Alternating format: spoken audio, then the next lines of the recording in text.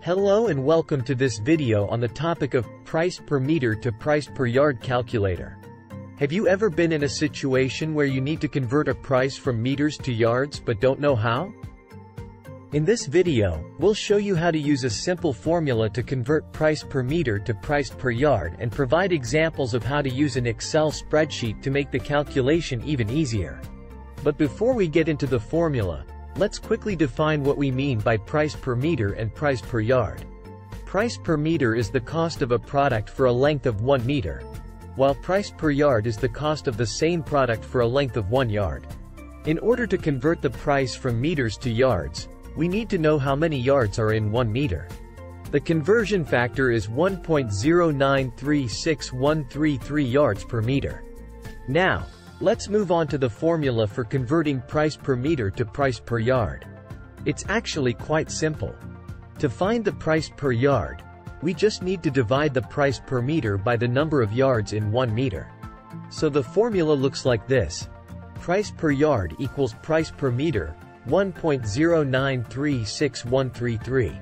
Let's go through an example of how to use this formula.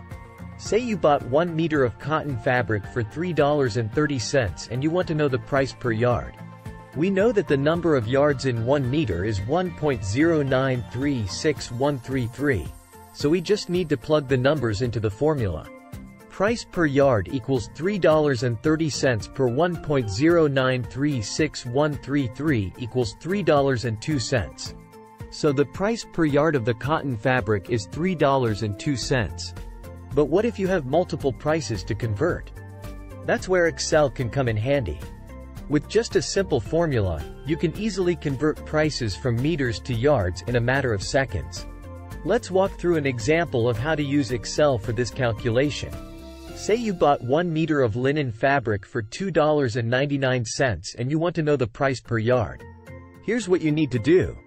In an empty cell, enter the formula equals 2.99, 1.0936133. This will give you the price per yard. Hit enter, and Excel will automatically calculate the result. In this case, the price per yard is $2.73.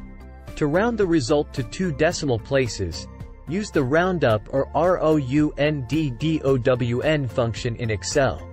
And there you have it. With just a few simple steps, you can convert price per meter to price per yard using either a basic formula or an Excel spreadsheet.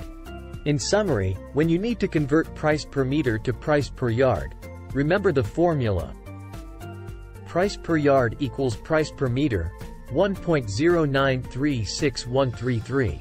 And if you have multiple prices to convert, try using an Excel spreadsheet to make the calculation even easier. Thanks for watching, and we hope you found this video helpful.